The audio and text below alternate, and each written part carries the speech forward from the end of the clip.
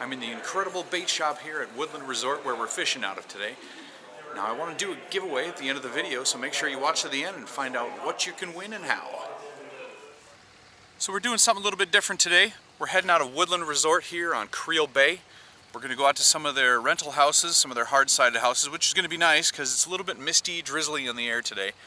Uh, we're going to hit that morning walleye bite where they got their houses set up. Uh, this this resort, Woodland Resort, is quite an operation. We ate over here at Pros last night.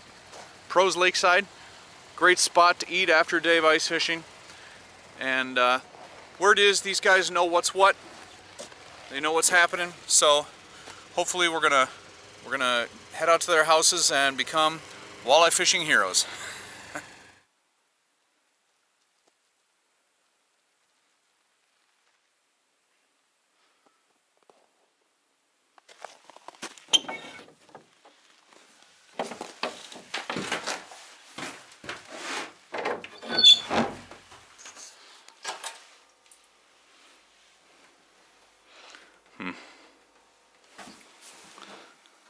Huh?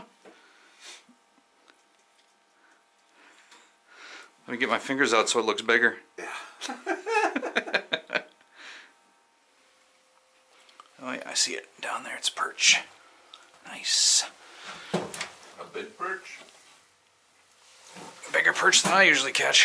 Nice. Here's the freshwater shrimp. It's the basis of this food chain. And the reason this lake is so Yeah. So extremely productive. They're just swimming around in the holes all the time. Oh. Ooh, that. sucked in that drop kick. And that's the second day on Devil's Lake. The perch bite today was about the same as yesterday.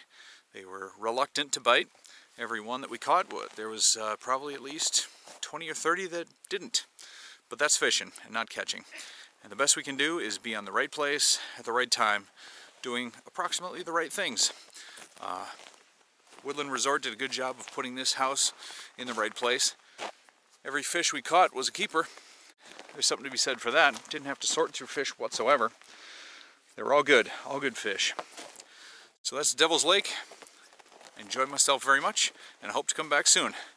Thank you Woodland Resort and Devil's Lake. So as you can see, we had another great day of fishing on Devil's Lake. And now I want to send you an assortment of lures from Clam Outdoors that we use to catch a whole bucket of tubby perch. Here's what you have to do. Leave a comment down below that's your guess as far as how much that bucket of perch weighed in pounds and ounces. That's it. That's all you have to do. And on March 1st, I will send those lures to whoever's closest. So get guessing and good luck. Thanks for joining me. Oh, son of a. Missed them.